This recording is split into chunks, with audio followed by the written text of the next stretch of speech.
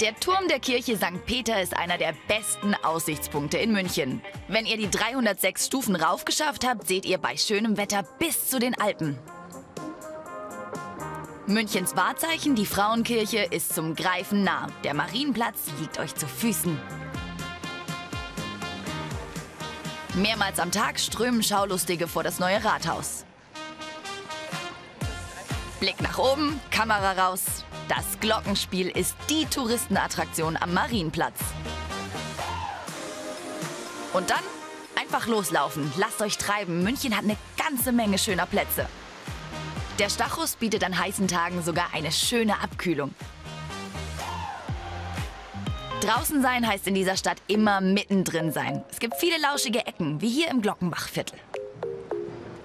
Wer will an so einem schönen Tag schon in ein Museum? Die sind doch auch von außen total schön. Ganz klassisch die Pinakotheken. Und modern das Museum Brandhorst. Sämtliche Sinne werden bei einem Bummel über den Viktualienmarkt angesprochen, Münchens berühmtestem Wochenmarkt.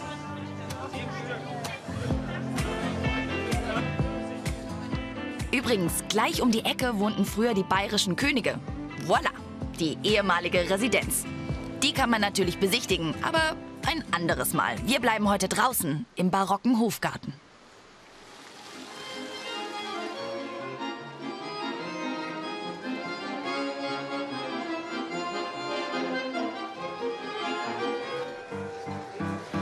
Dieser Ort darf an einem Sommertag in München auf gar keinen Fall fehlen. Der Biergarten. Mein Tipp für Sparfüchse, bringt euer eigenes Essen mit. Das ist nämlich erlaubt.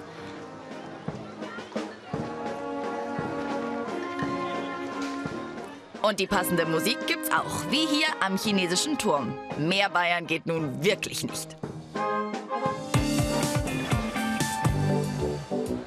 Schon morgens um 10 geht's in den Biergärten los. Und zwar gleich schön deftig. Ich nehme Weißwurst. Das ist Frühstück auf Bayerisch. Da freue ich mich schon drauf, seitdem ich hier angekommen bin. Um die 1000 Biergärten gibt's in München. In den größten passen sagenhafte 8000 Menschen. Ich habe mir einen der kleineren ausgesucht. Das Seehaus am Englischen Garten mit nur 2500 Sitzplätzen.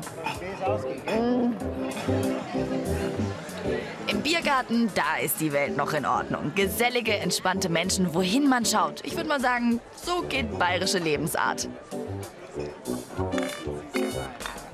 Aber Gewissensfrage, wäre sie ohne dieses Getränk denkbar? Das Bier. Ich glaube, da gibt's einen Zusammenhang. In München gibt's einen Ort, der für den Kult rund um den bayerischen Gerstensaft steht wie kein anderer.